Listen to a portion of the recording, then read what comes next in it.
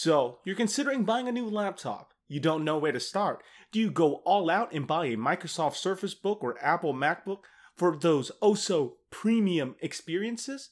Or do you go in the exact opposite direction and go buy a Walmart laptop for, say, around $200 and you get pissed every single time you open the lid and it creaks? Well, if you're the average person, you probably want something in between. Something that feels nice to touch and hold, that has pretty decent build quality, while at the same time not breaking the bank. That sweet, sweet middle ground can be pretty difficult to find.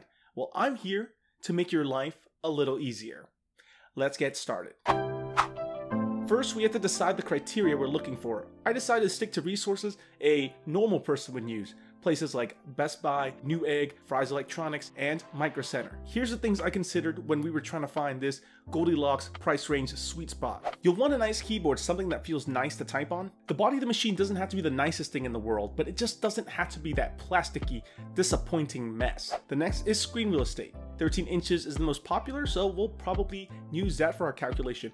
However, if you do want a 15 inch laptop, those actually tend to go a little cheaper than their 13 inch brothers. And then there's weight. As long as it doesn't weigh as much as a brick or fits in one hand just fine, then you're probably good. And then you need good battery life. You may not get the best battery life, but then again, these are mid-range products, so don't expect it. And lastly, performance. Performance has to be up to snuff. It has to be able to do your emails, web surfing, YouTube video watching, music listening, whatever, without too many hiccups. Initially, I thought it'd be pretty difficult to find good value machines like this. But I was wrong. There is a value spot. Assuming that you pay full retail price for a product, that means no discounts of any kind, the sweet spot is roughly 500 to $700. So how did we come to this conclusion? Well, for products that cost under $500, you typically play this game of tug of war, where you trade one feature for another never having both. For example, you may end up with a decently fast machine, but a crappy display. You may end up with super fast storage, but a slow processor. There's just a bunch of trading around.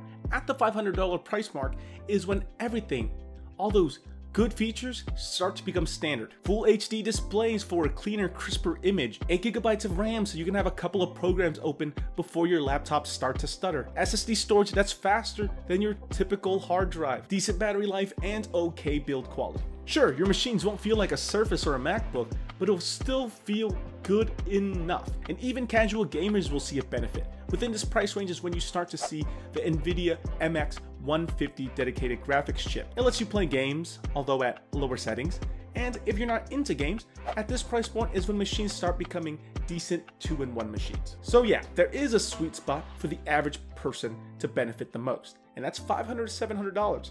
You pay any more, you're paying for more premium construction, maybe better speakers, and all that extra fluff. If you want nothing more than just a good, okay, alright machine, this is the price range you should be looking for. But at the end of the day, I can't tell you what's the best machine for you.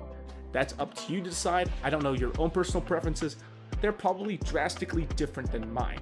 Make the right choice for you. I can only hope that I at least helped you in your search to finding the perfect laptop. Anyway guys, what do you think?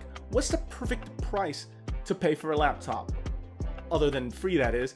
Leave that down in the comments section below. If you enjoyed this video, give it a thumbs up. And, well, don't forget to subscribe. I'll see you guys next time.